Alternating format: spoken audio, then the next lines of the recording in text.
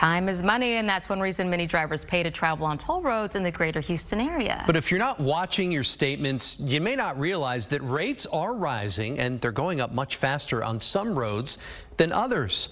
This morning, investigative reporter Amy Davis is checking out why some drivers say is highway robbery. It is true. No one has to use a toll road to get from point A to point B, but drivers who have grown accustomed to it were shocked to see how much more their routine commute was costing them every week in 2022.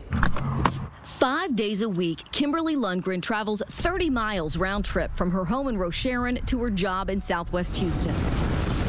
When the 288 Expressway opened in November 2020, she quickly realized paying a little money to use it made for a much quicker commute. It saves me about 10, 15 minutes. But what she saved in time, she quickly lost in cash when rates shot way up. Take a look. The same six tolls on the 288 Expressway in 2021 cost Kimberly $6.20 going to and from work. Beginning January 1st, 2022, the same tolls cost her $9 $1.78. Five days a week, four weeks a month, Kimberly was looking at paying $195.60 compared to $124 in 2021. Oh my gosh, what happened? we got a lot of feedback from citizens, a lot of them concerned. Brazoria County engineer Matt Hank says a lot of people were upset, and the county had to explain it only manages the five mile section of the 288 expressway inside Brazoria County.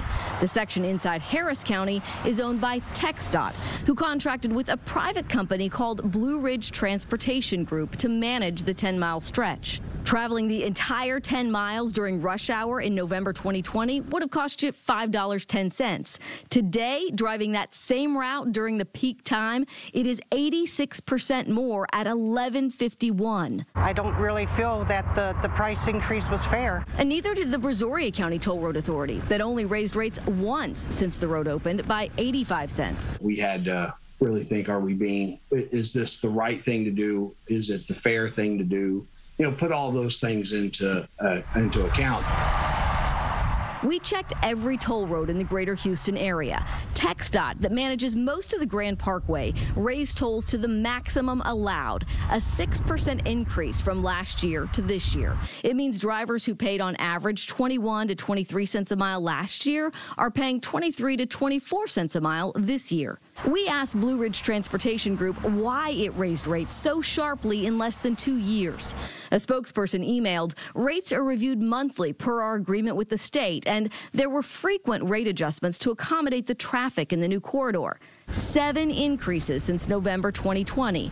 But Hank says drivers shouldn't expect another one soon. The good news is we do believe the toll rate increases in the Harris County section will slow down moving forward. TxDOT put a cap on tolls, not allowing Blue Ridge to charge more than $1.06 per mile. They are now at that maximum allowed rate, by far the most expensive toll road in our area. On click2houston.com, you can see all of the rates for toll roads in the greater Houston area. I'm Amy Davis, KPRC 2 News.